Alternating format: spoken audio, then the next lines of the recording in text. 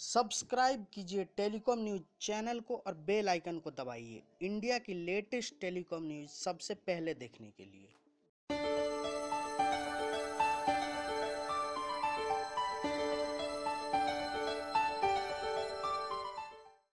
भारत की सबसे बड़ी दूरसंचार कंपनी भारतीय एयरटेल ने अपने ग्राहकों के लिए एक नया प्लान पेश किया है। ये प्लान है नौ सौ निन्यानवे का।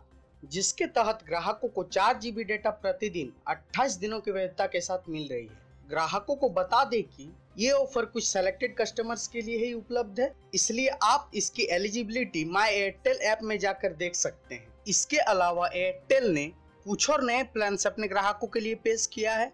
ये प्लान है तीन सौ उनचास, तीन सौ निन्यानबे चार सौ निन्यानबे और सात सौ निन्यानबे तीन सौ उनचास रूपए वाले प्लान में ग्राहकों को एक जीबी डेटा प्रतिदिन और अनलिमिटेड वॉइस कॉल 28 दिनों की वैधता के साथ मिल रही है। वहीं तीन सौ निन्यानबे रूपए वाले प्लान में ग्राहकों को एक जीबी डेटा प्रतिदिन 28 दिनों की वैधता के साथ 4G हैंडसेट पर ही मिल रही है।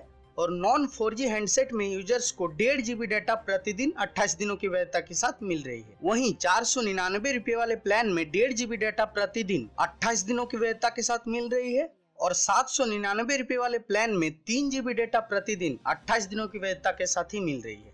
दोनों ही प्लान्स में अनलिमिटेड वॉइस कॉल की सुविधा है जियो को नेक टू नेक फाइट देने के लिए एयरटेल ने कुछ और शानदार प्लान अपने ग्राहकों के लिए पेश किया है। इसमें से पहला प्लान है पाँच का जिसमें दो जीबी डेटा प्रतिदिन और अनलिमिटेड वॉइस कॉल्स 28 दिनों की वैधता के साथ मिल रही है। बताई गई सारी प्लान की एलिजिबिलिटी ग्राहक अपने माई एयरटेल ऐप में जाकर देख सकते हैं।